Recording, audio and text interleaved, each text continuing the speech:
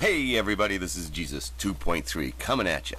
Hey, listen, um, I just sent a letter off to uh, the Morning Call in Allentown, Pennsylvania. It's one of their guest columns. They, they claim that they want these things.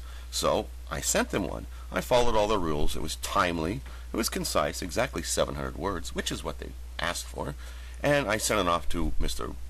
Robert Orenstein at the Morning Call and to their guest column.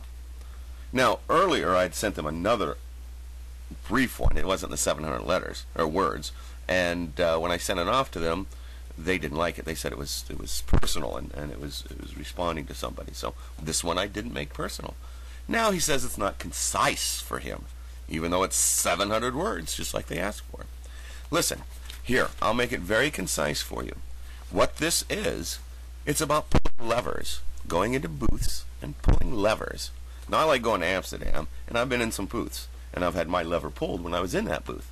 But we're talking about a different booth and different levers here. And the point of this non-point little article is that make sure you know whose lever you're pulling and why you're pulling the lever. Okay? So here goes. I'm going to read this out. Mind games can be mesmerizing. We play a mind game when we walk in the voting booth, believing there are only two choices to make. In reality, there are many positions that have multiple options. You don't always have to pull the same lever. The mind game is when you tell yourself that the others don't matter, and then you never pull their lever. After you leave the booth, you go about your business, and life goes on.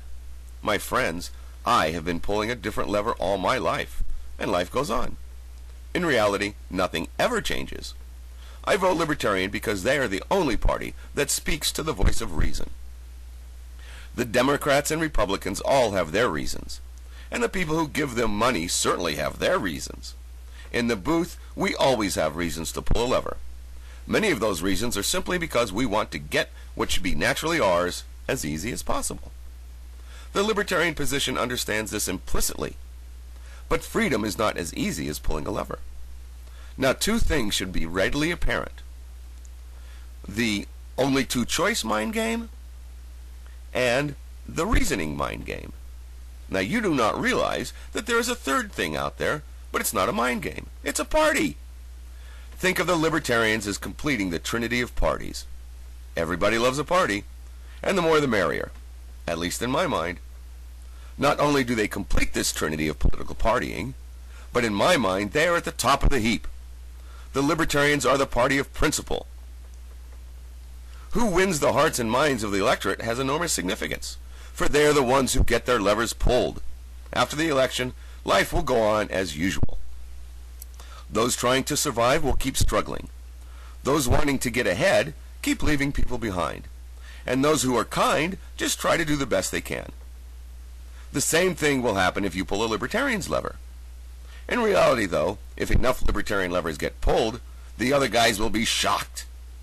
They probably still come to Harrisburg and continue to muck things up. Say la vie. We are at a historic crossroad. We must decide if we want to repeat it all again or try a little harder and making this land great again. For those don't understand the libertarian position, let me explain it as such. Libertarians are communists. We know that when the people in our communities work hand in hand, real progress and human happiness will soon be at hand. Libertarians are socialists. We know that it is the people in society, working with communities, in all their manifestations, that creates the most happiness. We also know that society is not the state. The state is here simply to protect our right to freedom. We must be responsible for our happiness, when we are alone and when we are together. If you were to vote Libertarian, you would unleash a new political force. Yes, two-party competition has been a feature. It has even been said the feature. What does that mean? Of modern state politics. In reality, though, there isn't much of each of them with difference between the two. They might as well be one. The same money men provide each of them with money. Look closely and you will see that nobody is giving libertarians money. There's a good reason for that. They want you to do your best with what you have. The last point bears some elaboration. The truth is, We are all trying the best that we can. When given the easy way out, we quite naturally make the choices that's easy. When you step into that booth, the lever you pull depends on what you think you need. In reality, you are pulling the lever thinking you'll get what you want. We don't always get what we want, but if you do it yourself, you get what you need. This, in essence, is the libertarian position. So why not pull their lever?